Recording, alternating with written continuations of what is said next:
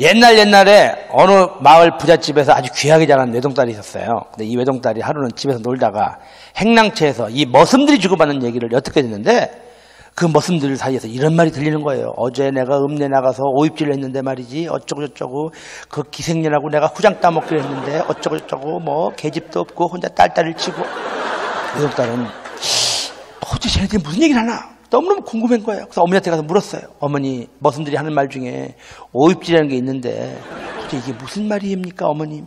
어머니가 너무 놀래갖고 아, 아, 아, 아 그, 그, 그 게 말이다. 오입질이라고 하는 것은 어른들이 그 낚시를 가갖고 고기가 입질하기를 기다리는 말 있지 않냐? 어? 입질하기를 기다린다. 그 낚시하는 거. 이걸 보고 오입질이라고 한단다. 어머님 또 궁금한 게 또 있습니다.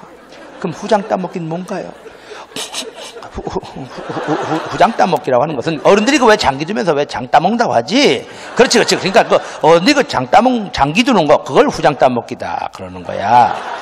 어머, 그렇군요. 그럼 어머니, 마지막으로, 딸딸이 뭔가요?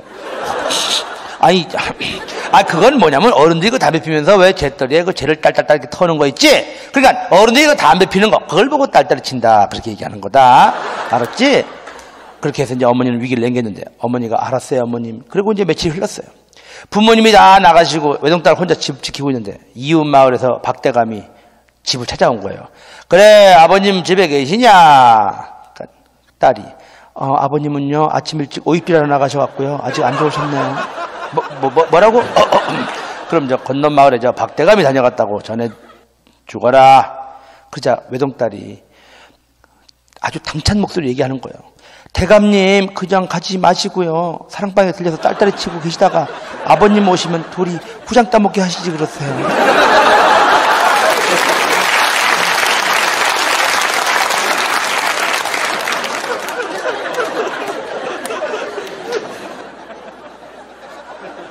어느 여자하고 남자하고 신혼여행을 갔습니다. 근데 남편이 약간 좀, 좀 바보 같아요.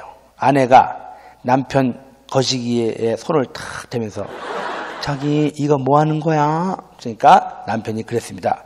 어 이거 저 내 소중한 밑전이지. 그러면서 이번엔 또 남편이 아내의 거기를 촥 만지면서 자기 이건 뭐야? 그러니까 또 아내가 얘기하기를 어머 그것은 내 가게야 여보. 그러면 나는 밑전을 갖고 있고 당신은 가게를 갖고 있으니까 내가 밑전 될 테니까 우리 같이 동업합시다. 가게를 엽시다. 이래갖고 밤마다 그냥 거시기를 그냥, 그냥 했는데 한 결혼한 지 이제 한 5년이 지났어요. 어느 날 남편이 밤중에 그거 하다 말고 탁 떨어지면서 마누라한테 얘기합니다. 여보 도저히 안 되겠어. 내 밑전은 자꾸 작아지는데 당신 가게는 자꾸 날로 확장을 해가니까 도저히 내가 견딜 수가 없어. 남편이 술에 막 취해갖고 집에 들어와서 이렇게 싹 몰래 잠자려고 그러는데 와이프가 안 자고 기다리는 거야. 당신 지금까지 뭐온 거야? 그러니까 남편이 얘기합니다. 아니, 그게 아니고, 옆에 술집이 생겼는데 아주 멋진 술집이 생겼다니까? 내가 친구들하고 갔었는데, 야, 그 집 대단해. 골든 사롱인가 하는 술집인데, 모든 게 다 금으로 돼 있어, 금으로 돼 있어. 아니 그런 데가 어딨어 말 같지도 않게 하지 마. 아 진짜라니까 문도 금이고 마루도 금이고 야 심지어는 그 오줌 넣는 거 소변기도 금이다. 다음날 이 남편 말이 믿기지 않는 와이프가 114에 전화해가지고 그 골든사롱을 물어물어 이제 찾아가지고 전화를 해봤어요. 거기 저 골든사롱인가요? 그러니까 남자가 네 그렇습니다. 어 그럼 미안한데요. 거기 금으로 만든 문이 있나요? 어 물론이죠. 마루도 금인가요? 어 그럼요. 어머, 그럼 저 소변기도 금인가요? 이 얘기에 잠깐 침묵이 흐르더니 갑자기 그 술집 남자의 고함 소리를 여자는 들었습니다. 야, 야, 야! 어젯밤에 자네 섹스폰에 오줌 싼 새끼 전화 왔다, 지금.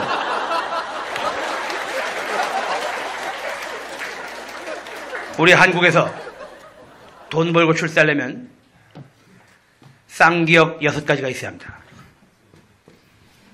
한국에서 돈 벌고 출세하려면 쌍기역 여섯 가지가 있어야 합니다. 첫째, 꿈. 꿈이 있어야지. 희망, 목표, 뭐 있어야. 3년 후에 난 5억을 벌겠다. 난 10년 후에 대통령이 되겠다. 뭐 20년 후에 난 뭐가, 뭐가 있어야. 하여튼 그 꿈을 이루든지 말든지 개뿔이 뭘 할 거 아니겠습니까? 또 그 꿈을 이루려고 걸어가는 그 길을 우리는 인생이라고 부르는 겁니다. 근데 요새 사람들은 꿈을 한번 목표를 세우면 그걸 차분하게 이룰 생각 안 해. 그냥 한 방에 이뤄보자. 그러니까 이거 로또 복권 이거 난리 치는 건데. 저도 얼마 전에 미쳐갖고 한 20만 원짜리 한꺼번에 산적 있는데 하나도 안 붙고 씨. 로또가 안 붙으니까 조또야 씨. 미, 미국에서 실화인데 어떤 70 먹은 할머니가 로또 복권 1등이 붙었어. 수령액이 우리나라 돈으로 천, 천억이야 천억. 근데 로또 주주식이 고민이 생겼어요. 왜? 이 할머니가 나이도 많은데다가 심장병을 앓고 있는 할머니라 천억 얘기 잘못 그랬다가 이 할머니가 쓰러지 심장마비 죽어버리면 그 책임을 져야 되니까 이걸 어떻게 전할까가 이제 고민이야. 그래서 이 할머니가 매주 다니는 그 교회 목사님을 불러갖고 목사님 저 할머니가 지금 천억이 맞았는데 우리가 얘기 잘못 그랬다가 심장마비로 돌아가실 수가 있으니까 그 흥분하지 않게 잘 좀 얘기 좀 전해주십시오. 그러니까 목사가 알았습니다. 갔어요 이제 할머니한테. 목사가 할머님 만약에 말이죠, 한 천억이 생겼다. 그럼 할머니 어떻게 하시겠어요? 아이고, 아이, 나같이 늙은이한테 무슨 천억이 생겨요? 아이, 그럴 일 없어요. 그러니까, 할머니, 놀라지 마십시오. 주님의 은총이 있어와. 할머니 갖고 계신 로또 복권이 1등이 돼갖고, 이번에 천억을 받게 생겼습니다. 그 할머니가, 정말이에요? 정말입니다. 할머니가 가만히 있더니, 막 웃으면서, 그럼 그 천억, 목사님 다 가지세요. 그 목사가 심장마비로 죽어버렸어.